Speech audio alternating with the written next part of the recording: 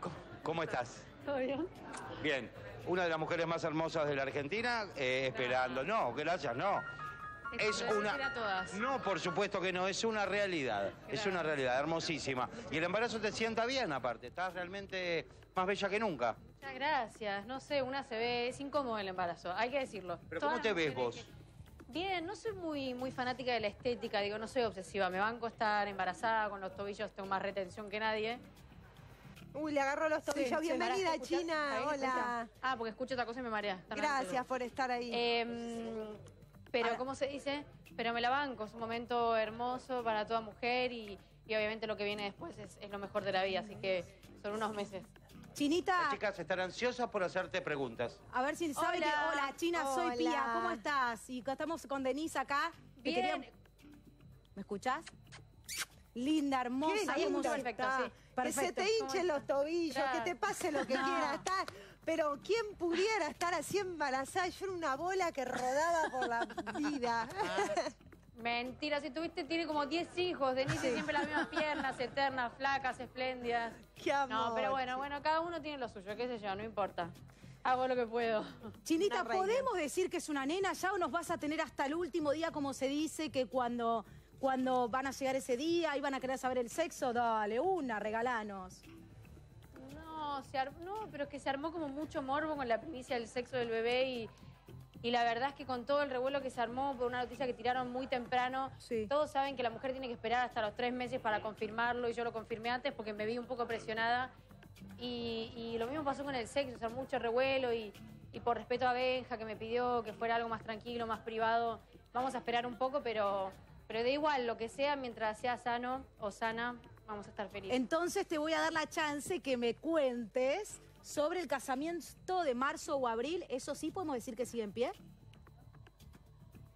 Y es que van a ser, yo creo que va a ser un poquito más adelante. Sí, sí, por supuesto que la idea es casarnos. Eh, ya está la propuesta oficial, pero, Oh. pero tengo que ver, me tengo que recuperar. tengo que China, perdóname, ¿cómo fue esa No, tengo propuesta? Por, por favor, contanos. ¿Cómo fue? ¿De rodillas? ¿Te sacó a No, comer algún lado? fue, Sí, por supuesto. Oh. Por supuesto, no, pero fue, fue, fue divino, Benja, es muy romántico. Rodilla al piso. Sí, por supuesto. Muy bien, claro. Perfecto. Si la hacemos, la hacemos completa. perfecto. Pero bien, me agarró una- es como, es como raro el momento, es como de las películas, ¿viste? Pero ¿Te bien. sentiste un poco incómoda? No, le dije, mi amor, bueno, levantate y ya está. Pero sí, obvio que sí. Pero. pero ¿Qué no, haces no. ahí arrastrado? No, él, él es más romántico. Yo soy romántica, pero soy un poco más. Él es más, más romántico. ¿Te agarró por sorpresa China la propuesta o ya, viste que uno le intuye? Decís, La ¿cuándo verdad será? que sí. Ah, ¿te sorprendió? Uno siempre lo habla antes, no es que uno viene hablándolo y el hombre yo creo que no se la juega. Al momento de preguntar a otra mujer si sabe que la otra le va a decir que no. Pero yo siempre le dije que para mí no era lo más importante, que el casamiento, que nunca me importó tanto, pero que bueno, que es lindo, no sé.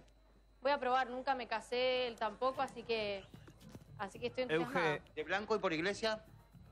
De blanco no sé, voy a tener varios vestidos, eso seguro. ¿Y por iglesia? Ay, me muy bien, encantaría, es lo que le hubiese encantado a mi papá, así que así que seguramente. Euge, es la Estaremos. primera vez, Aunque no quieras. es la primera vez en tu vida No, porque tuviste, cuando tienen buena onda, yo tengo buena onda. Tuviste parejas muy importantes, conocidas muchas de ellas. ¿Es la primera vez en tu vida que pensás con este hombre me caso? La verdad es que en otras relaciones me han ofrecido casamiento, se habla del tema y yo prefería no, era más rebelde, era más chica, decía no, si me voy a separar. Y la verdad es que Benja Qué genial que Tiene- dijo que no al una cosa como casamiento. No, es que tenía como una cosa de que fiaca después la división, me daba como fiaca todo ese tema de... Tenía muchas parejas que se divorciaban y los veía pobres, que era un lío, que la división de bienes, que los papeles, y decía, no, ¿para qué me voy a casar ni loca? Más fácil separarse.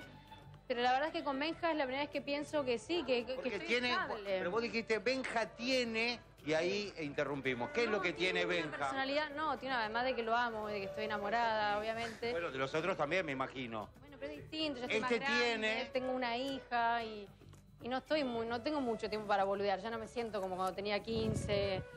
eh, y es distinto, estoy más grande, me contiene, nos reímos mucho juntos. No le encuentro ningún defecto.